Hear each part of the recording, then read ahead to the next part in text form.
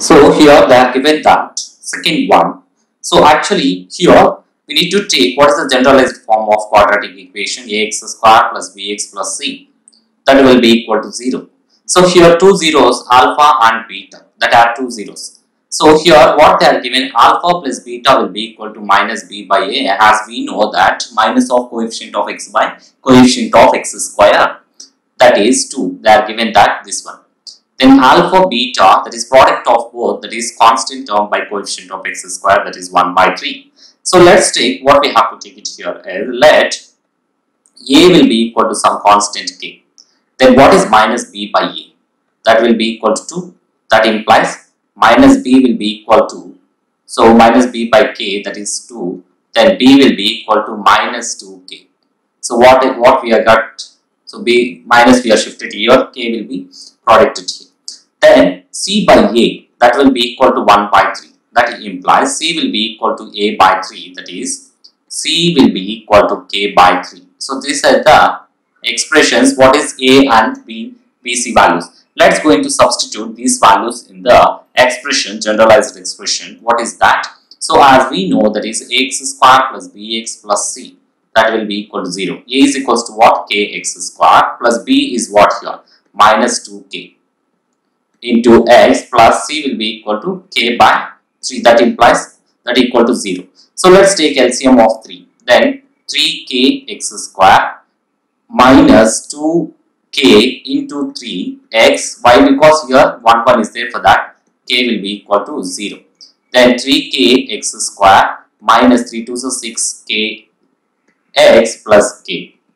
This is the form we have let's substitute k will be equal to 1 that is 3 ones are x square minus 6 into 1 x plus 1 will be equal to 0 let's take 3 x square minus 6x plus 1 will be equal to 0 so this is the way what is this? We have got it that 3x square minus 6x plus 1 will be equal to 0 this is the way to find the polynomials with the given sum of zeros and product of zeros. Thank you for watching. Please subscribe Hello viewers, welcome to Damu Education. If not yet subscribed, please subscribe and click the bell icon. So here they are given alpha and beta, but we should know what is the generalized form of the expression that is k x square minus, so here plus is there for that minus k into alpha plus beta into x plus here minus is there for that it is plus k alpha beta.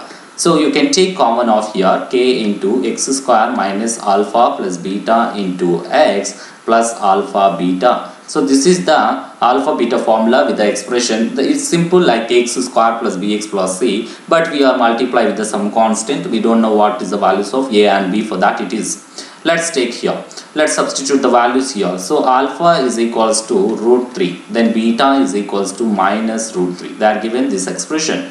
So let's going to substitute in this k may be any integers. Let's take k into x square minus of alpha is root 3 plus of minus root 3 into what is that? X plus root 3 into minus root 3 this is the expression. So let's take k into x square minus root 3 plus into minus minus. So root 3 into x. So plus into minus minus root 3 whole square so this is the expression. Let's going to cancel. Is there anything cancel? Root 3 minus root 3 will going to cancel. Square and square root will going to cancel. Then k into x square minus 0 into x minus 3.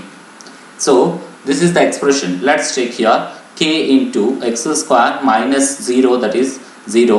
We don't need to write. Then if k is equals to 1. If k is equals to 1 that implies 1 into x square minus 3. That implies x square minus x square minus 3 is the required expression. Like this we have to find it. Thank you for watching.